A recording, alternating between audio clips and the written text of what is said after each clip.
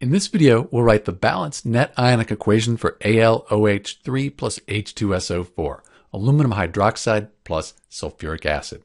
First thing we do for net ionic equations, we balance the molecular equation. This is our molecular equation here. I'll put the coefficients here. There's a link in the description for this video if you need some help balancing it. We have 2, 3, 1, 6. So that's the balanced molecular equation. Next, we need to write the state for each substance. So aluminum hydroxide. Hydroxides in general are not soluble, with a few exceptions of group 1 metals like sodium hydroxide or potassium hydroxide. So this is not going to be soluble, it's going to be a solid. Put a little S there. Sulfuric acid, that's a strong acid. It dissolves in water, dissociates into its ions. We're going to put an AQ for aqueous. Aluminum sulfate, sulfates in general, soluble, so a little AQ.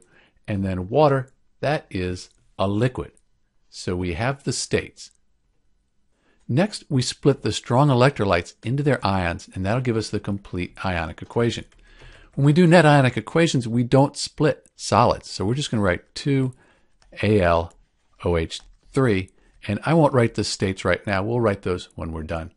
For H2SO4, hydrogen, group 1, has a 1 plus charge, and this entire sulfate ion has a 2 minus. That's a good one to remember. So I have 3 times 2, that's 6 of the hydrogen ions. Then for the sulfate, I have 3 sulfate ions. And those are the reactants. For the products, aluminum, that's a 3 plus ionic charge. The sulfate, 2 minus, as we said before. So we have 2 aluminum ions and then 3 sulfate ions. We don't split liquids apart either in net ionic equations. That's just 6H2O. So this is the complete ionic equation. Now we can cross out these spectator ions. They're on both sides of the complete ionic equation. So they haven't changed. We're not really interested in them. The only thing that I see that's the same in the reactants and the products, these three sulfate ions here. So I'm going to cross those out. And that gives me the net ionic equation. I'll clean it up and write the states in, and we'll have our net ionic equation for AlOH3 plus H2SO4.